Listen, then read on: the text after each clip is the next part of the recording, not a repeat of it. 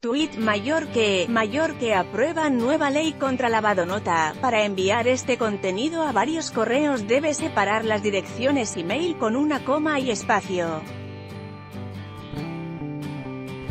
Nuestro sistema permite un máximo de 5 destinatarios y un comentario de hasta 2,500 caracteres en el mensaje.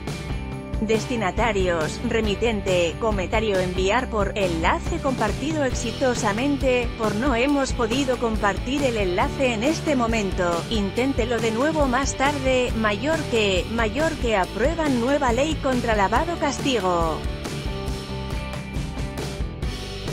Mientras decenas de protestantes son juzgados por terrorismo, el Parlamento nicaragüense suspende receso para aprobar con carácter de urgencia la ley contra el lavado de activos, el financiamiento al terrorismo y el financiamiento a la proliferación de armas de destrucción masiva, una nueva ley que entre diversos puntos sanciona alterar el orden constitucional.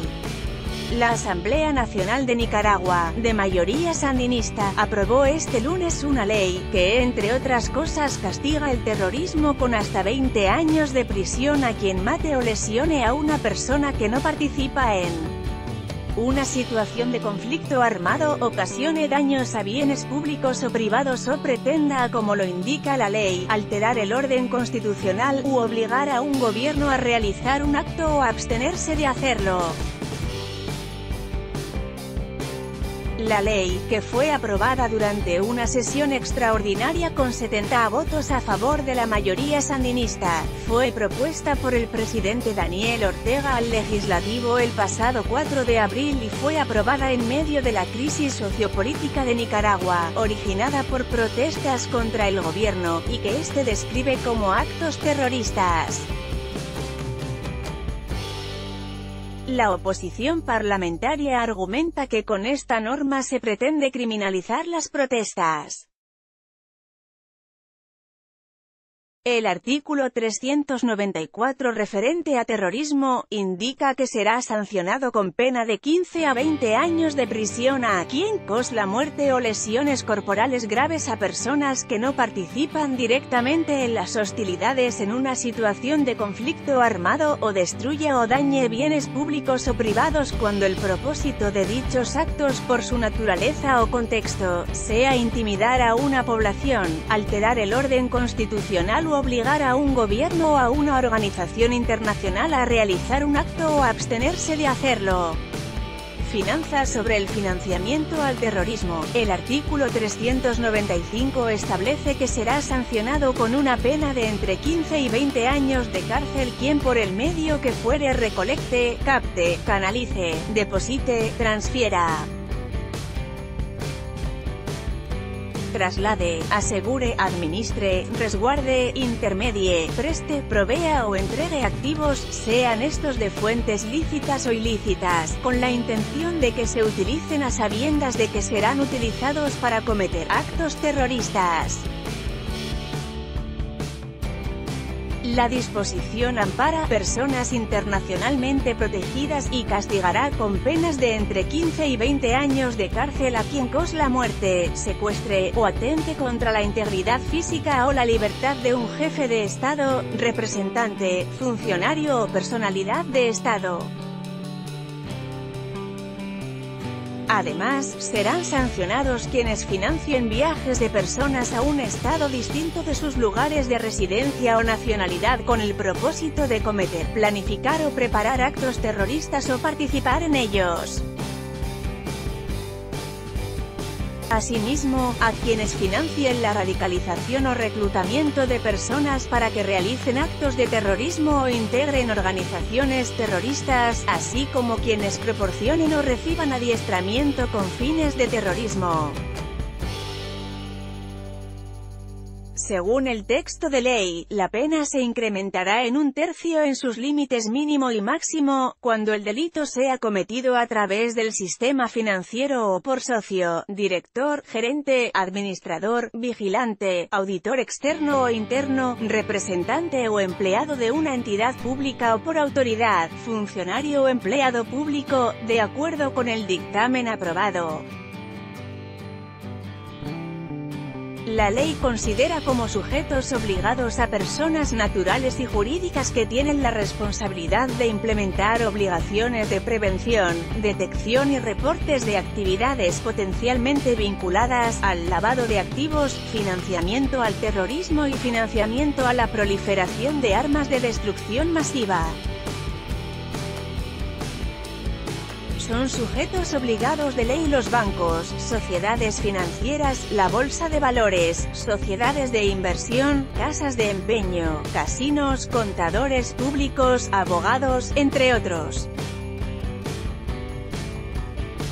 Al aprobarse la ley se manda crear una comisión nacional integrada por técnicos del Poder Judicial, Ministerio de Hacienda, Procuraduría General, Ministerio Público, Policía, Superintendencia de Bancos, Unidad de Análisis Financiero y de la Comisión Nacional de Microfinancieras. Asimismo, la ley crea un Consejo Nacional de Defensa, que dentro de sus facultades está designar listas de personas naturales o jurídicas que estén financiando actividades terroristas, objetivos según el texto de ley enviado por el presidente Daniel Ortega. Esta tiene como objetivo proteger la economía nacional y la integridad del sistema financiero de los riesgos asociados al lavado de activos, el financiamiento del terrorismo y el financiamiento de la proliferación de armas de destrucción masiva.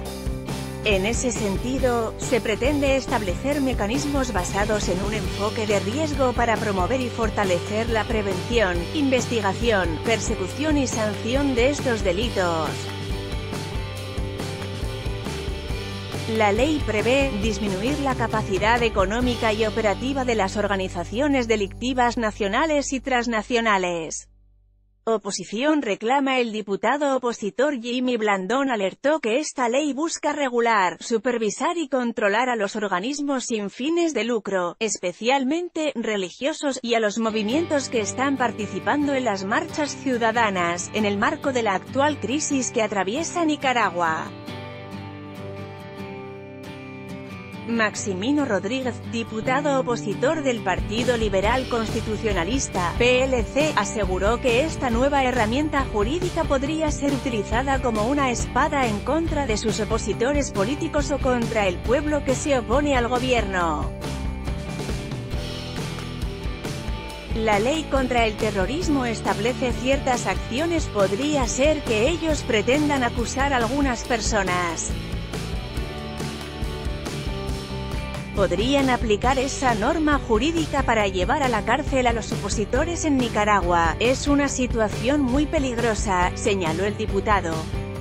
Rodríguez sostuvo que, en este momento aprobar esta norma es muy complicado para la situación que vivimos los nicaragüenses, cuando la protesta está siendo criminalizada. La nueva ley entrará en vigencia a partir de su publicación en la Gaceta, diario oficial, esta semana, cuando se cumplen tres meses de protestas que piden un adelanto de elecciones y reformas democráticas. Gobierno reforma Ley Unidad de Análisis Financiero La Asamblea Nacional aprobó este lunes una reforma a la ley que creó la Unidad de Análisis Financiero, UAF, que amplía las facultades de este órgano para investigar personas o negocios sospechosos de cometer lavado de dinero o financiar el terrorismo.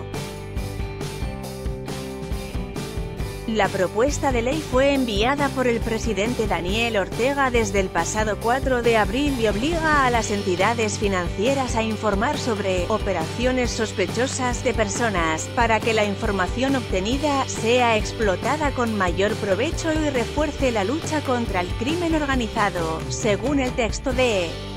Ley. Según la ley, se define como operación sospechosa, todo acto, operación o transacción aislada, reiterada, simultánea o serial, sin importar el monto de la misma, realizada por cualquier persona natural o jurídica que de acuerdo con las regulaciones vigentes, resulta inusual o carente de justificación económica o jurídica aparente. Alarma internacional por represión en Nicaragua La UAF cuenta con la facultad de recibir y solicitar reportes de operaciones sospechosas o cualquier otra información a las entidades financieras, también podrá solicitar directamente a cualquier entidad pública o privada que entre las actividades que realiza con sus asociados incluya la intermediación financiera. Además, podrá llevar a cabo análisis operativos y estratégicos sobre la información que obtenga en el ejercicio de sus funciones. Posteriormente, tendrá que comunicar los resultados de sus análisis a las autoridades responsables de investigar delitos y de ejercer la acción penal contadores deberán informar el Poder Judicial y el Colegio de Contadores Públicos de Nicaragua también deben establecer órganos que centralicen la información sobre operaciones o situaciones inusuales identificadas por las entidades financieras bajo su competencia. Estos órganos tendrán la obligación de analizar la información con el fin de darle valor agregado y generar reportes para la UAF de manera inmediata en los casos en que se determine la existencia de sospechas de lavado de activos y financiamiento al terrorismo. Los diputados sandinistas explicaron que el Grupo de Acción Financiera Internacional, GAFI, dio hasta el 24 de julio para que Nicaragua tenga una nueva ley del órgano de actuación de supervisión y prevención del lavado de dinero. La ley entrará en vigencia a partir de su publicación en la Gaceta, diario oficial.